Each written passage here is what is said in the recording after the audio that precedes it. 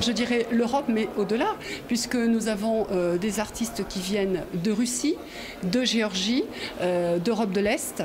Euh, nous avons effectivement une pluralité d'origine des, artistes et des créateurs.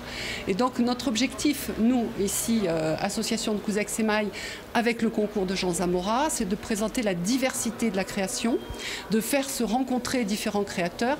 Vous avez ici des émaux, on va dire, de techniques traditionnels et vous avez aussi euh, des émaux contemporains. Ce qui est intéressant à voir dans cette exposition, c'est qu'actuellement, ça fait comme au Moyen-Âge. C'est-à-dire au Moyen-Âge, on émaillait sur or ou sur argent. Et après, l'or et l'argent venant très très cher, on est parti sur le cuivre. Et actuellement, le cuivre venant très très cher, nous partons sur de la tôle. D'où les émaux industriels.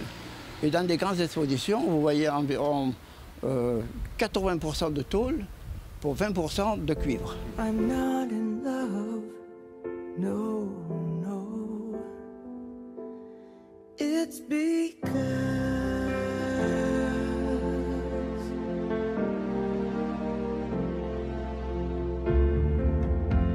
I like to see you, then again, that doesn't mean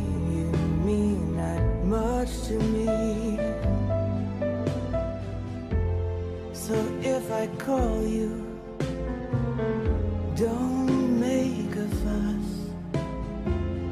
Don't tell your friends about the two of us. I'm not in love. Actuellement, vous avez le renouveau et un croisement dans les grandes expositions européennes. Vous avez un renouveau des émailleurs. Et souvent, on se réunit ensemble pour découvrir la façon de faire des autres. C'est ce qu'on appelle un peu le campagnonnage. Ce qui est intéressant, c'est de voir ce que l'autre fait à l'étranger. Ce qui est difficile pour un émailleur de se déplacer.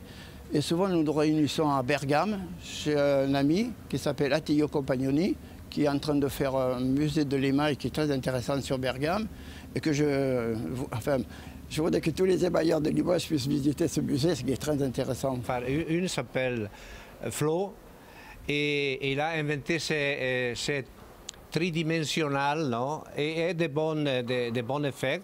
Il y a des autres qui la, qui, qui la suivent. Non Une autre euh, euh typologie de, de, est euh, l'utiliser blanc et, et fondante. Et à fait des cuissons particulières, il arrive le rouge qui vient de l'oxydation del, del cuivre. Non